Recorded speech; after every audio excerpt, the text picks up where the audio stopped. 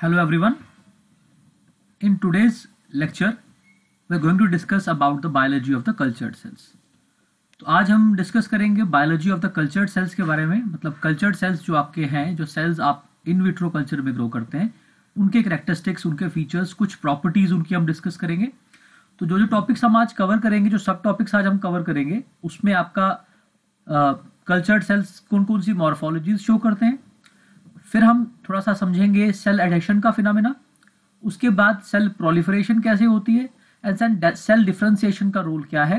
जब हम बात करते हैं in terms of cells which are cultured in vitro उसके बाद थोड़ा सा आपको मैं ब्रीफिंग दूँगा regarding how cells in culture metabolise कि जो सेल्स कल्चर में ग्रो कर रहे हैं, वो मेटाबोलाइज कैसे करते हैं, वो अपनी एनर्जी नीड्स को कैसे मीट करते हैं, इन चीज़ों के बारे में हम डिस्कस करेंगे आज के इस लेक्चर के अंदर। तो स्टार्ट करते हैं। द फ़र्स्ट स्लाइड जो हमारी यहाँ पे है it talks about the characteristics of cultured cells तो जो सेल्स आपके कल्चर में है ग्रो कर रहे हैं, उनके करेक्टरिस्टिक्स कैसे डिफर करते हैं फ्रॉम दैट इन वीवो आप एक नॉर्मल कंडीशंस के अंदर एक सेल है सपोज़ किडनी सेल है, और उसी किडनी सेल को आपने लेके कल्चर में ग्रो कर, जब कर रहे हैं तो दोनों के बीच में क्या डिफरेंस होगा? फ़र्स्ट ऑफ़ ऑल उनके बीच में जो सेल सेल इंटरेक्शन हैं, वो बहुत कम हो जाती हैं because during normal in vivo setup के अंदर एक सेल जो है, बहुत सारे नेबिंग सेल से कम्युनिकेट कर सकता है। Whereas in normal to the adherent cultures जो एडहेरेंट कल्चर्स आपके हैं, जिसमें सेल्स जो है, एक मोनोलेयर के फॉर्म में ग्रो करेंगे, उन कल्चर्स में सेल टू सेल इंटरेक्शन काफ़ी हद तक कम हो जाती है। थ्री डी स्ट्रक्चर जो है सेल का जो आर्किटेक्चर थ्री डी आर्किटेक्चर है पूरे टिश्यू का, वो नहीं आपको मिलता एक कल्चर वेसल के अंदर। तो वो भी लॉस हो जाता है। दूसरा, जो सेल्स आपके, आपने किसी टिश्यू से निकाले टिश्यू के अंदर सेल्स वो एक पर्टिकुलर काम कर रहे थे। They were having a specialised function वो स्पेशलाइज्ड फ़ंक्शन भी लॉस हो जाता है जब आप सेल्स को निकाल के इन विट्रो कंडीशंस के अंदर ग्रो करते हैं।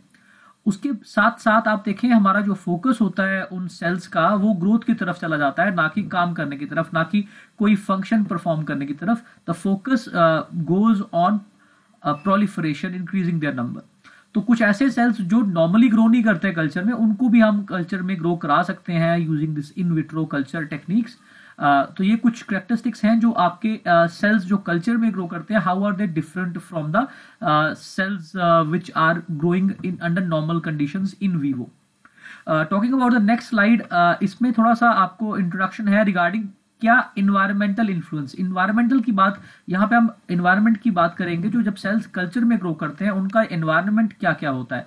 मीडिया कौन सा यूज़ हो रहा है? उनको अटैचमेंट के लिए सरफेस कौन सा प्रोवाइड किया है आपने? गैसेस कौन कौन सी वहाँ पे आपने सप्लाई की है? क्या टेम्परेचर में आप उनको ग्रो कर रहे हो? तो ये सारे जो है कॉन्ट्रीब्यूट करते हैं towards the growth of the cells in culture for example आप देखेंगे जो हम, हमारे एडेरेंट कल्चर्स हैं they need a substrate to which they can attach जबकि जो आपके सस्पेंशन कल्चर्स हैं, उनको ऐसी कोई रिक्वायरमेंट नहीं है। उसी तरह से कार्बन डाइऑक्साइड हमने फिक्स रखी है फाइव परसेंट के ऊपर। बट ऐसा देखा गया कि डिफरेंट सेल्स में have a different optimum value of carbon dioxide requirement temperature 37 है प्रोमिनेंटली यही यूज़ करते हैं। बट uh, इसको भी अप डाउन कर सकते हैं as per the cell need अगर कोई आप specific cell culture cell line grow कर रहे हैं तो उसका जैसे आपके इंसेक्ट सेल लाइन हैं they prefer growing at 28 not at 37 तो आपका अलग अलग तरह के कल्चर्स uh, हैं विच में have a specific need of temperature of gases composition as well as जो प्लास्टिक वेसल आप यूज़ कर रहे हैं जो कल्चर वेसल आप यूज़ कर रहे हैं क्या वो अडेरेंट चाहिए क्या वो अडेरेंट नहीं चाहिए then media also plays an important role क्या आप सेल्स को डिफ्रेंशिएट कराना चाहते हैं क्या आप सेल को आ, रखना चाहते हैं एक प्रोलिफरेटिव स्टेट में तो मीडिया कॉम्पोजिशन भी वेरी करेगा अकॉर्डिंगली तो इन्फ्लुएंस जो आपके कल्चर एनवायरनमेंट का जो इन्फ्लुएंस है वो बहुत ज़्यादा है एक सेल की ग्रोथ के ऊपर कल्चर में जब वो ग्रो कर रहा होता है जब वो under in vitro condition grow कर रहा होता है। सो so, हम डिस्कस करते हैं बारी बारी से इनकी प्रॉपर्टीज़ तो पहली चीज़ हम जो डिस्कस करने जा रहे हैं that is your cell morphology जब हम सेल्स को इन विट्रो कंडीशंस में ग्रो कर रहे होते हैं तो हमने देखा कि हमारे पास दो बेसिक uh, तरह के सेल्स हो सकते हैं। एक आपके कहलाते हैं अडेरेंट सेल्स जो typically they want a substrate to attach to और दूसरे सेल्स आपके कहलाते हैं suspension cells they grow suspended in the medium तो जो आपके सस्पेंशन सेल्स हैं वो यूजुअली जब मीडियम में जाते हैं तो दे रिमेन राउंडेड तो वो राउंडेड रहते हैं स्फेरिकल रहते हैं शेप में और उसी स्टेट uh, में रहते हुए वो प्रोलिफरेट करते हैं वो uh, उनको अटैचमेंट के लिए कोई सरफेस चाहिए नहीं. तो उनकी शेप जो है वो कहलाती है lymphoblast like shape they're called as lymphoblast like cells और लिम्फोब्लास्ट लाइक शेप उनकी मॉर्फोलॉजी उनकी होती है। जो आपके अडेरेंट सेल्स है ऑन द अदर हैंड वो आपको दो मेन मॉर्फोलॉजीज शो करते हैं। Fibroblast like morphology which is shown here usually cells जो है काफ़ी एक्सटेंडेड सेल्स होते हैं। लंबे लंबे cells fibre like hence fibroblast like और दूसरी आपकी epithelial like epithelial like morphology इसमें सेल्स जो है कॉम्पैक्ट शेप के रहते हैं। नंबर ऑफ़ कॉर्नर्स रहते हैं सेल्स के polygonal basically I am trying to say polygonal shape रहती है सेल की। uh, थोड़े से कॉम्पैक्ट होते हैं when you compare them with the fibroblast तो as you can see in this figure थोड़े से कॉम्पैक्ट सेल्स हैं थोड़े से कॉर्नर्ड सेल्स हैं यहाँ पे लंबे फाइबर लाइक सेल्स हैं। तो आपके पास दो मेन मॉर्फोलॉजीज फाइब्रोब्लास्ट लाइक और endothelial like sorry epithelial like moving on there are some examples of various cells जैसे फाइब्रोब्लास्ट हैं एपिथीलियल सेल है न्यूरोनल सेल्स हैं और एंडोथीलियल सेल्स हैं. तो आप देखिए कि फाइब्रोब्लास्ट जैसे हमने डिस्कस किया having a large extended morphologies fiber like structure, epithelial cells, small polygonal cells. Neuron like morphology again इसमें एक मेन सेल बॉडी रहेगी and then there will be processes उस मेन बॉडी से सेलुलर प्रोसेसेस निकलेंगी, जैसे आपके neuron में dendrons या एक्सॉन होता है, उसी तरह यहाँ से भी प्रोसेसेस निकलती हैं जो अगले सेल्स तक जाके अटैच करती है। तो एक सेल्स हैं, आपके जो प्रोसेसेस के साथ उसको न्यूरॉन लाइक कहेंगे या न्यूरोनल सेल्स कहेंगे, फिर आपके endothelial cell slightly extended but not as extended as a fibroblast कुछ इंटरमीडिएट कह सकते हैं आप इसको फाइब्रोब्लास्ट और एपिथीलियल के बीच की शेप है ये। तो ये कहलाएगी आपकी एंडोथीलियल लाइक शेप तो आपके पास ये कुछ ब्रॉड आउट एक ओवरव्यू था regarding the morphologies which the cells में show when they're growing in an in vitro system, under in vitro conditions जब वो ग्रो करते हैं खासकर एडहेरेंट सेल्स क्योंकि suspension cells they will all be rounded उनकी मॉर्फोलॉजी तो लिम्फोब्लास्ट लाइक ही होगी। जो अडेरेंट सेल्स हैं they can have different morphologies depending upon की वो, उनका टिश्यू ऑफ़ ओरिजिन क्या है, किस टिश्यू से ओरिजिनेट हो रहे हैं, उसके accordingly they can have different morphologies moving on the next aspect in this presentation is the cell adhesion तो सेल एडेशन क्या होता है? Uh, हमने अभी बात की कि सेल एडेशन कौन से सेल्स शो करेंगे? सबसे पहले अडेरेंट सेल लाइंस शो करेंगी। तो अडेरेंट सेल लाइंस को ग्रो करने के लिए they need to attach to a substratum उनको एक सरफेस चाहिए अटैच करने के लिए। तो पहले पहले जब स्टार्ट में ये सेल कल्चर का जो प्रोसेस है या जो सेटअप स्टार्ट करना था तो earlier they use to have glass surfaces तो ग्लास के ऊपर उनको ग्रो करते थे। ग्लास को नेगेटिवली चार्ज कर लेते थे।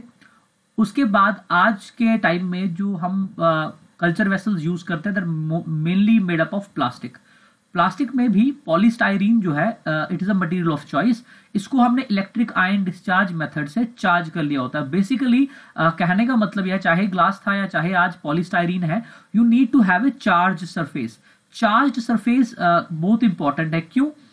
ताकि सेल्स प्रॉपरली अटैच कर सकें। अब सेल की अटैचमेंट उस प्लास्टिक सरफेस के साथ या उस ग्लास सरफेस के साथ कैसे होती है? It's a step wise process सबसे पहले जो आपका सेल आपने इनोकुलेट किया, आपने कल्चर वेसल के अंदर डाल दिया, आपने ग्रो करने के लिए स्टार्टिंग मटेरियल डाल दिया, वो सेल्स क्या करेंगे? दो cells will start making something which is known as matrix proteins. They will start making matrix proteins. Uh, जिस वो मैट्रिक्स प्रोटीन टिपिकली आपके कॉमन कॉमनली कौन कौन से हैं?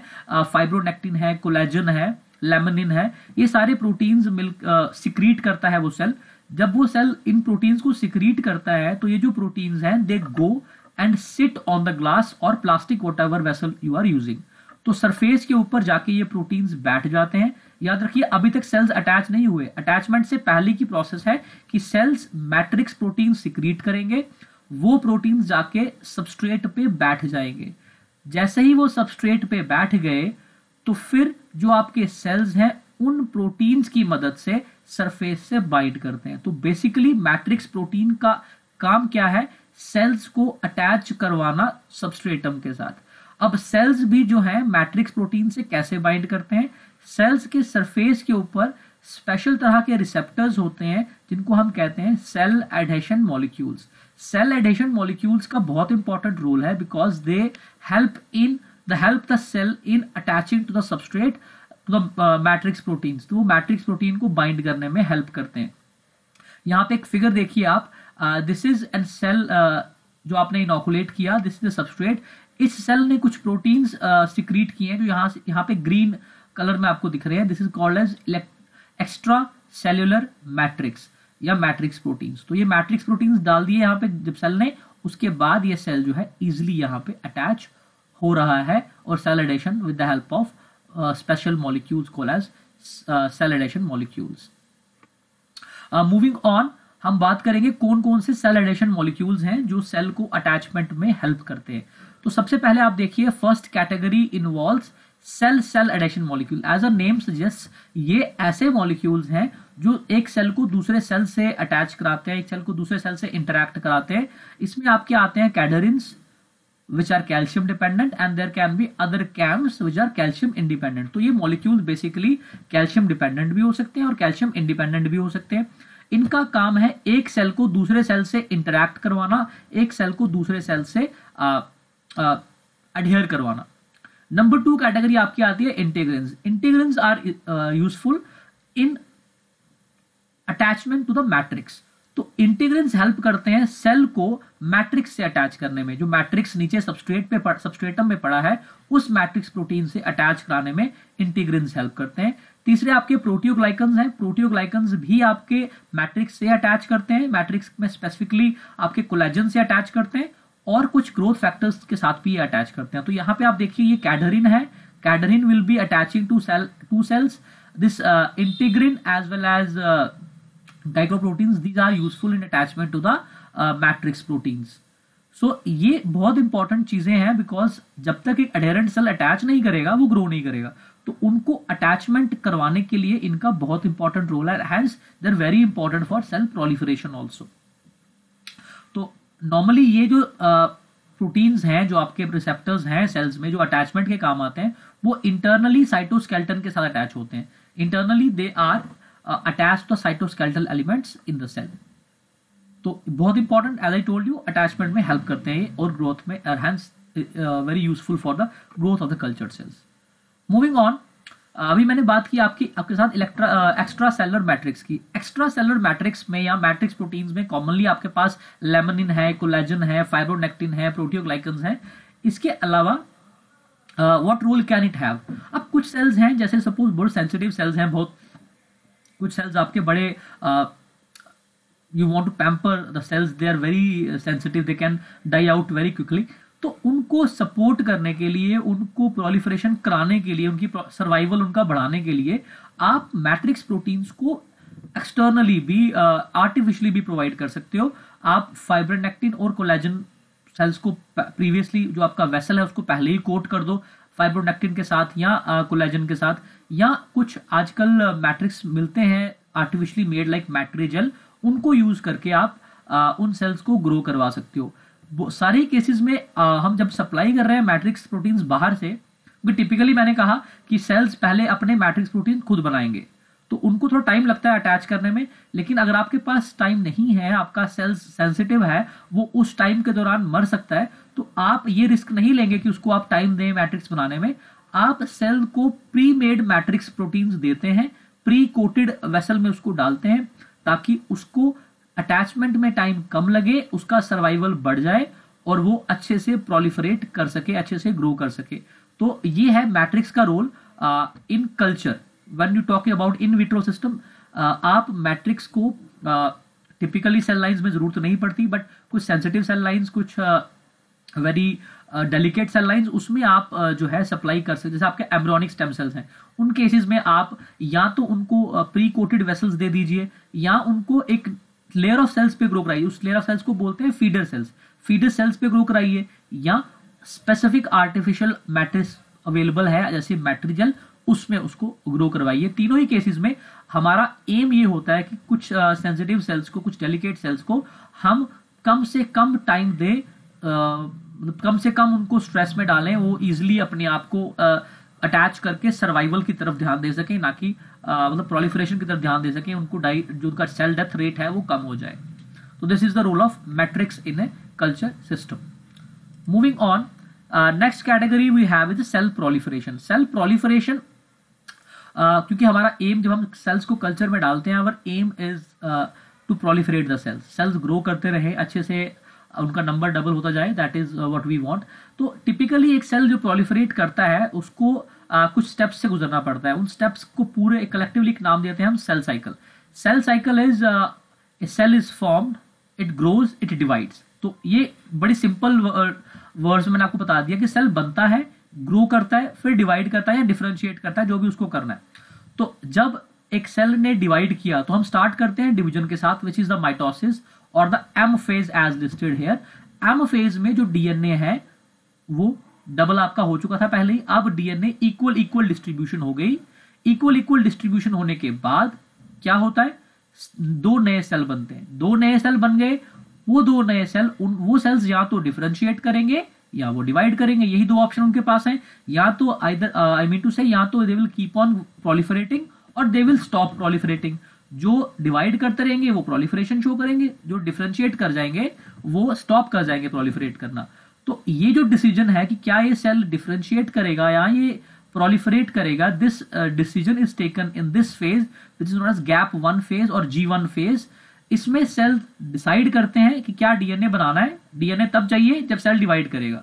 क्या डीएनए बनाना है या सेल्स डिफ्रेंशिएट करेंगे। तो अकॉर्डिंगली ये डिसाइड करता है cell at the G one phase उसके बाद अगर सेल ने डिसाइड किया कि इसको आगे डिवाइड करना है, इसको आगे प्रोलिफरेट करना है then it next needs to make DNA S phase और the synthesis phase is the time is the is the period where DNA synthesis takes place तो डीएनए सिंथेसिस और डीएनए रेप्लीकेशन इस फ़ेज़ में होती है। उसके बाद once DNA is made cell now has to enter division तो बिफोर इट एंटर्स डिवीज़न और द एम फ़ेज़ अगेन ये एक रीचेक करता है कि जो डीएनए बना, उसमें कोई फॉल्ट तो नहीं है, कोई रिपेयर तो नहीं चाहिए। जो आपका सब कुछ जो जो चीज़ें चाहिए before replication sorry before division वो सारी चीज़ें इंटैक्ट हैं या नहीं है। क्योंकि अगर डीएनए जो है फॉल्टी होगा, अगर तो डीएनए जो है वो प्रॉब्लमेटिक होगा तो जो नए सेल्स बनेंगे they will have a faulty DNA जो फॉल्टी डीएनए या म्यूटेटेड डीएनए भी कहते हैं, उसको हम जिसमें प्रॉब्लम्स होंगी डीएनए में वो DNA can become a cause for cancer तो they can that can lead to cancer तो कैंसर कैंसरस सेल्स बने ये सेल कभी नहीं चाहेगा। इसीलिए वो एक चेक पॉइंट एक चेक uh, पॉइंट ऐसा रखा है उसने जिसपे वो चेक कर ले कि सेल जो खराब डीएनए वाले सेल्स हैं उनको मार देना है उनको एपोप्टोसिस में डाल देना है और जो सेल्स हेल्दी हैं with proper DNA they should be allowed to move further they should be allowed to proliferate तो सेल साइकिल बहुत इंपॉर्टेंट है बिकॉज़ हम सेल्स को प्रोलिफरेट करा रहे हैं कॉन्टिन्यूसली तो सेल जब पॉलिफेट करते हैं आपके कल्चर सिस्टम के अंदर तो ये सारे फेजेस फॉलो करते हैं. उसके बाद हमारा कंट्रोल मैंने पहले कहा कंट्रोल क्या रहता है? सेल कैसे कंट्रोल करता है कि प्रोलिफरेट करना है या नहीं करना है? तो एक तो आपका मीडियम में क्या फैक्टर्स हैं? क्या आपने ग्रोथ फैक्टर्स दिए हैं उसको? क्या आपने प्रोलिफरेशन वाले फैक्टर्स दिए हैं? अगर आपने प्रोलिफरेशन के फैक्टर्स दिए हैं उसको आ, कुछ ऐसे कंपोनेंट्स कुछ ऐसे केमिकल्स जो प्रोलिफरेशन को सपोर्ट करें प्रमोट करे तो सेल्स आपका प्रोलिफरेट करेंगे। और अगर आपने कुछ ऐसे कंपोनेंट्स दिए हैं जो सेल्स को डिफ्रेंशिएट कराएँ तो सेल डिफ्रेंशिएट कर जाएगा।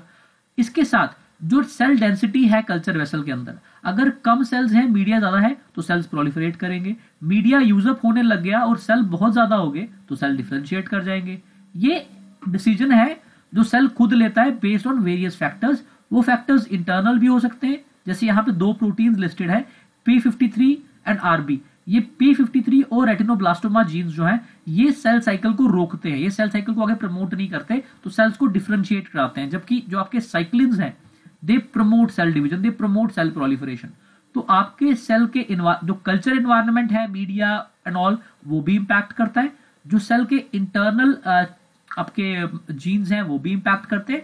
प्लस मैंने आपको बोला जी वन जी टू दोनों फेजेस हैं जो चेक पॉइंट्स हैं, जो चेक करते हैं कि सेल को आगे बढ़ना चाहिए कि नहीं बढ़ना चाहिए। तो there are various mechanisms by which cells control whether they should go into proliferation और स्टार्ट डिवाइड और और स्टॉप डिफरेंस स्टार्ट डिफरेंशिएटिंग तो अकॉर्डिंगली सेल को डिसाइड करना है अपने एनवायरमेंट को बेसिस uh, बना के। डिफ्रेंसिएशन मैंने आपसे अभी बात कर ली कि डिफ्रेंसिएशन तभी होगा जैसे मीडिया में कंपोनेंट्स हैं जो डिफ्रेंशिएट कराए जैसे हाइड्रोकॉर्टिसोन एनजीएफ सेल डेंसिटी बड़ी ज़्यादा हो जाए कैल्शियम कॉन्सेंट्रेशन ज़्यादा हो जाए ये सब चीज़ें डिफ्रेंसिएशन को बढ़ाते हैं।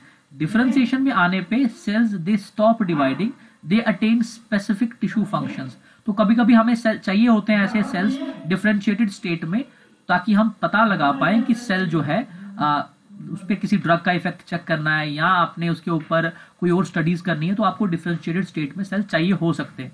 तो उस केस में आप सेल्स को डिफ्रेंशिएट करवाते हैं जानबूझ के या इंटेंशनली तो डिफ्रेंसिएशन का एक और इंपॉर्टेंट रोल जैसे हमारे टू डी कल्चर्स की मैं अभी तक बात करते आ रहा हूँ कि जो सेल्स हैं वो टिपिकली आपके प्लास्टिक सरफेस के ऊपर एज ए मोनोलेयर ग्रो करते हैं। लेकिन वो सफिशेंट नहीं होते कुछ स्टडीज़ के लिए। कुछ स्टडीज़ में आपको सेल जो है अपने ओरिजिनल फ़ंक्शन के साथ ओरिजिनल बिहेवियर के साथ चाहिए होते हैं, जो टू डी कल्चर्स में मिल पाना बड़ा मुश्किल है बिकॉज़ आप उसको एक फ्लैट सरफेस पे ग्रो कर रहे हैं, लेकिन टिश्यू में cells normally three D conformation में या थ्री डी आर्किटेक्चर में ग्रो करते हैं। तो उसके लिए ऑर्गन कल्चर्स एक अच्छा ऑल्टरनेटिव है, लेकिन ऑर्गन कल्चर्स की एक प्रॉब्लम है। ऑर्गन कल्चर्स बहुत अच्छे एक हमें मॉडल प्रोवाइड करते हैं for three D for this studies लेकिन वो प्रोपोगेट नहीं हो सकते। तो प्रोपोगेट नहीं हो सकते ये उनकी प्रॉब्लम है every time you have to go to the organ itself now उसको सॉर्ट करने के लिए साइंटिस्ट ने सेल लाइन्स को ग्रो करना शुरू किया था एज मिक्स कल्चर्स और ओवरलैपिंग कल्चर्स लेकिन still they are not that much इतना डेली इतना रेगुलर यूज़ में वो चीज़ें नहीं है अभी भी। अभी भी टू डी कल्चर से ही मोस्ट uh, स्टडीज़ की जाती हैं।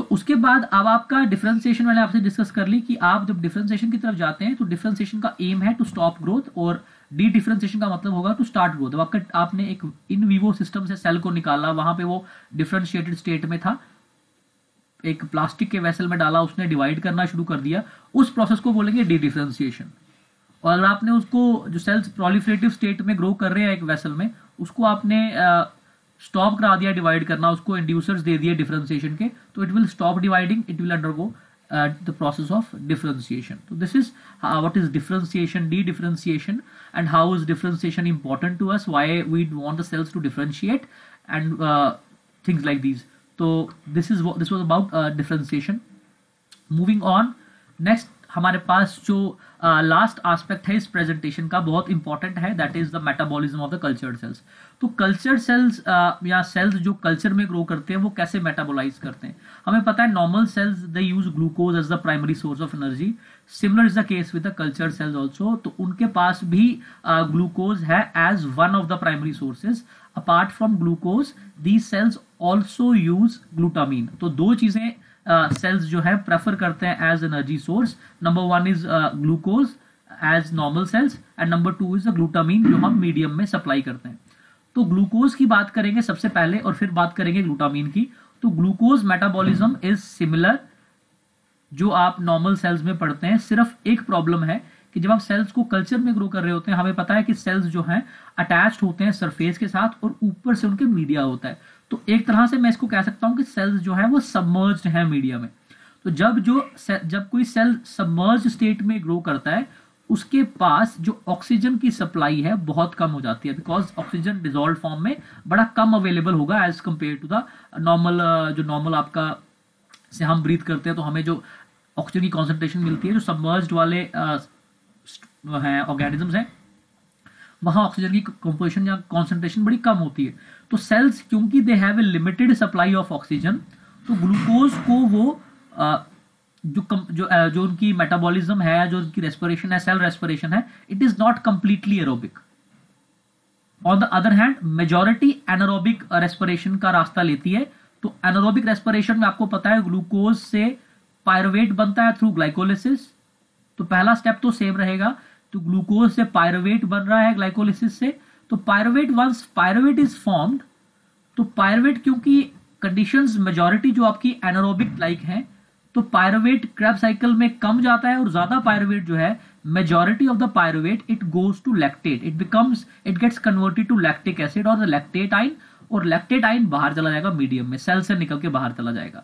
तो पहला और मोस्ट इंपॉर्टेंट रास्ता ग्लूकोज मेटाबॉलिज्म में ये है कि ग्लूकोज से पायरोवेट बनता है और पायरोवेट जो है it gets converted to lactate और लैक्टेट बनने के साथ ही जो लैक्टेट है वो बाहर चला जाता है। This completes your anaerobic portion of the respiration उसके बाद जो लिमिटेड सप्लाई ऑफ़ ऑक्सीजन है, उस ऑक्सीजन को यूज़ करके इसी पायरवेट के कुछ अमाउंट को, कुछ फ्रैक्शन को क्रैब साइकिल में भेज दिया जाता है। जो सेल्स जो है, उसको क्रैप साइकिल में भेज देते हैं। क्रैप साइकिल में जाने के बाद इट अगेन यील्ड एनर्जी लेकिन जो फ्रैक्शन है पायरवेट का, वो कम है as compare to the fraction which becomes lactate तो एक रास्ता पायरवेट के लिए लैक्टेट बनाना, दूसरा रास्ता क्रैप साइकिल में जाना। इन दो रास्तों के अलावा पायरवेट एक तीसरा फेट भी शो करता है that is it gets convert converted to alanine by transamination reaction तो ट्रांसमाइनेशन रिएक्शन से ये एलानीन में कन्वर्ट हो जाता है। एलानीन जो है again it again goes to medium ये भी मीडियम में चला जाता है सेल से बाहर निकल जाता है। तो अभी तक मैंने आपको बताया कि ग्लूकोज मेटाबॉलिज्म में आपके पास सबसे पहला स्टेप जो ग्लाइकोलिसिस है once glycolysis is completed you will have pyruvate तो जब आपके पास पायरोवेट आ गया pyruvate will undergo three fates तीन फेट्स उसके होंगे। जो प्राइमरी फेट है that is pyruvate will get converted to lactate सबसे पहला फेट कि लैक्टेट बनेगा और लैक्टेट बनने के बाद सेल से बाहर निकल जाएगा। Number two fate pyruvate portion और a fraction of pyruvate will enter the Krebs cycle तो नॉर्मल आपका एरोबिक रेस्पिरेशन क्रैप साइकिल में चला जाएगा। और तीसरा फेट ये है कि पायरवेट जो है it gets converted to alanine by reaction known as transamination और ये पायरवेट जो है in the form of alanine it will again move out of the cell तो तीन तरह से आपका पायरवेट का यहाँ पे आ, तीन फेट वो आपको शो कर रहा है। एक और बात एक और इंपॉर्टेंट बात ग्लूकोज मेटाबॉलिज्म के साथ कि ग्लूकोज ये सारे काम तो करता है जो भी मैंने डिस्कस किए। इसके साथ ही ग्लूकोज प्रोवाइड करता है uh, various precursors like nucleotides. It provides uh, ribose ribose sugars. तो ये कैसे आता है? Glucose enters a pentose phosphate pathway pentose phosphate pathway में जाके it will give you ribose it will give you erythrose it will give you PGA तो इसमें जाने के बाद पेंटोज फॉस्फेट पाथवे में जाने के बाद ये आपको बहुत सारे पाथवेज के प्रिकर्सर्स भी प्रोवाइड करता है ग्लूकोज तो ग्लूकोज मेजोरिटी इस तरह से चल रहा है। कुछ एक पोर्शन प्रिकर्सर बनाने में भी मेजर काम ग्लूकोज का कैटाबॉलिक है it will give energy but it also plays an anabolic role via this PPP pathway. It also helps in synthesis of nucleotides uh, by making sugar. तो बड़े सारे काम बड़े कुछ एनाबॉलिक रोल भी है मेजोरिटी इज़ द कैटाबॉलिक तो कुछ एक एनाबॉलिक रोल भी ग्लूकोज प्ले करता है। तो अभी तक हमने बात कर ली, ग्लूकोज कैसे मेटाबोलाइज होता है तो अभी तक आपने प्रीवियस क्लासेस में पढ़ा भी होगा या प्रीवियस ये आपको पता है कि ग्लूकोज का एरोबिक रेस्पिरेशन हो तो क्या होता है और एनारोबिक रेस्पिरेशन हो तो क्या होता है। अब हम बात करेंगे तो दूसरा ऑल्टरनेटिव जो हम मीडिया में सप्लाई करते हैं इन सेल्स को जो कल्चर में ग्रो कर रहे हैं विच इज़ द ग्लूटामीन तो ग्लूटामीन की बात करूँगा तो ग्लूटामीन एक अमाइनो एसिड है।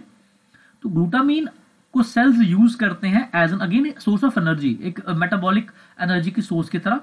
तो ग्लूटामिन मेटाबॉलिज्म में आपका पहला स्टेप जो है, दो स्टेप की रिएक्शन है। पहला स्टेप है deamination and second step is transamination तो जब हम डीएमाइनेशन की बात करते हैं तो ग्लूटामीन में दो अमीनो ग्रुप रहते हैं। एक अमीनो ग्रुप निकल जाता है बाहर। जब एक अमीनो ग्रुप निकल जाएगा तो रेस्ट इज़ ग्लूटामिक एसिड जो हमारा बचता है that is known as the glutamic acid और ग्लूटामेटाइन तो पहला आपका conversion of glutamine to glutamate by the action of enzyme glutaminase ये एंजाइम है ग्लूटामिनेज ये डीएमाइनेशन रिएक्शन को कैटलाइज करता है. ये आपके इस ग्लूटामीन को कन्वर्ट करता है ग्लूटामीन और अमोनियम आइन में. अमोनियम आइन जो आपके बन रहे हैं इस स्टेप के ऊपर, दो चीज़ें बन रही है ग्लूटामेट और अमोनियम आइन अमोनियम आइन जो बन रहे हैं they will leave the cell as ammonia ये सेल से बाहर निकल जाएँगे in the form of ammonia ammonium ions तो ये बाहर चले जाते हैं सेल से. आपके पास पीछे बच गया ग्लूटामेट ग्लूटामेट जो है it will undergo second reaction, which is known as transamination, which is known as transamination और ऑक्सीडेटिव डीअमाइनेशन कह सकते हैं इसको आप। तो ट्रांसअमाइनेशन में ये अपना अमीनो ग्रुप जो इसके पास बचा हुआ अमीनो ग्रुप है, वो छोड़ देता है। तो किसको छोड़ता है? वो आप पिछले फिगर में आप देख सकते हैं, यहाँ पे देखिए, जो इसका ग्लूटामेट का जो अमीनो ग्रुप है, वो पायरवेट ही लेके जा रहा है बेसिकली तो पायरवेट का एलनिन पायरवेट के पास जो अमीनो ग्रुप आ रहा है, वो ग्लूटामीन ग्लूटामेट से ही आ रहा है। तो आप ग्लूटामेट ने अपना अमीनो ग्रुप एक और छोड़ दिया, उसके पास दो अमीनो ग्रुप थे स्टार्ट में ग्लूटामीन के पास। पहला डीअमाइनेशन से चला गया, दूसरा ट्रांस अमाइनेशन से चला गया। अब आपके पास जो कार्बन की जो चेन बची, उसका नाम बचा अल्फ़ा कीटो ग्लूटरेट तो ग्लूटामेट जब ट्रांस अमाइनेशन रिएक्शन अंडरगो करता है it forms alpha keto glutarate और ये अल्फ़ा कीटो ग्लूटरेट इस पॉइंट के ऊपर क्रैप साइकिल में एंटर कर जाता है। और जब क्रैप साइकिल में एंटर कर गया तो फिर इसका जो एंड प्रोडक्ट है वो कार्बन डाइऑक्साइड और वाटर तो फिर से एक बार आपको शॉर्ट में बता दूँ ग्लूटामीन मेटाबॉलिज्म जो है it is carried out in two steps number one glutamine जो है it undergoes a deamination reaction which is catalysed by glutaminase और इसके जो एंड प्रोडक्ट्स आपको मिलते हैं, वो है ग्लूटामेट और ammonium ions out of these two end products ammonium ions leave the cells as ammonia जो ग्लूटामेट आपका है it will undergo the second reaction which is known as transamination reaction और ऑक्सीडेटिव डीअमाइनेशन ये अपना दूसरा amino group भी loose कर देता है, जिसकी बाद अब जो जो स्ट्रक्चर आपका बन के आएगा, जो कंपाउंड आपका बन के आएगा, जो प्रोडक्ट आपका बन के आएगा, उसका नाम है अल्फ़ा कीटोग्लूटरेट अल्फ़ा कीटोग्लूटरेट जो है it can enter the Krebs cycle here it's a part of the Krebs cycle it enter the Krebs cycle here और फिर नॉर्मल एरोबिक मेटाबॉलिज्म की तरह से यहाँ पे कार्बन डाइऑक्साइड और वाटर बन के निकलेगा। अब एक छोटी सी प्रॉब्लम यहाँ पे आती है ग्लूटामिन जब हम डालते हैं तो अमोनियम बनता है। हालाँकि ग्लूटामिन हम बहुत कॉमनली यूज़ करते हैं और इस अमोनिया क्योंकि अमोनिया टॉक्सिक होता है सेल्स के लिए तो अमोनिया को रिमूव करने के लिए हम मीडिया चेंज करते रहते हैं फ्रॉम टाइम टू टाइम कि वो जो उस मीडिया में अमोनिया की कॉन्सेंट्रेशन इतनी ना बढ़ जाए कि सेल के लिए वो प्रॉब्लम्स क्रिएट करे, हम मीडिया चेंज करते रहते हैं। लेकिन आजकल कुछ स्ट्रैटेजीज ये भी हैं कि आप स्टार्ट करें कुछ डाइपेप्टाइड्स के साथ, जैसे ग्लूटामाइल अलानिन और ग्लूटामाइल ग्लाइसिन ये दोनों डाइपेप्टाइड ऐसे हैं। एम यही है इसमें कि कम अमोनिया बने। कम अमोनियम आयंस रिलीज़ हो सो दैट आपका जो ये मीडिया है, वो कम टॉक्सिक हो और सेल्स जो है लॉन्गर टाइम के लिए उस मीडिया में ग्रो कर सकें। So this is about glutamine metabolism we uh, we we discussed about glucose metabolism as well as glutamine metabolism. तो ये दो इंपॉर्टेंट एस्पेक्ट्स हैं जो सेल्स uh, uh, दो तरह से है uh, आपके दो सबस्ट्रेट्स जिनको सेल यूज़ करता है for energy when it is in the culture तो मेटाबॉलिज्म में डिफरेंस क्या है? डिफरेंस यही है कि नॉर्मली सेल्स जो है कंप्लीटली एरोबिक होते हैं लेकिन यहाँ पे कल्चर कंडीशंस में सेल्स जो है सिंस दे आर सबमर्ज तो ऑक्सीजन सप्लाई लिमिटेड होती है और वो कंप्लीटली एरोबिक ना होके काफ़ी हद तक जो है एनारोबिक मोड ऑफ़ रेस्पिरेशन भी शो करते हैं और पार्शली एरोबिक भी शो करते हैं। तो this was about the metabolism part in the cultured cells I hope आप लोगों को आज का लेक्चर्स इंटरेस्टिंग लगा हो। आपको कुछ कुछ ना कुछ इससे आज कुछ लर्निंग एक्सपीरियंस आपका बड़ा हो इससे और आप, आपके एग्ज़ाम्स में ये आपके लिए बड़ा यूजफुल होगा ये lecture I sincerely hope so thank you so much I will be back with the next lecture also Thank you.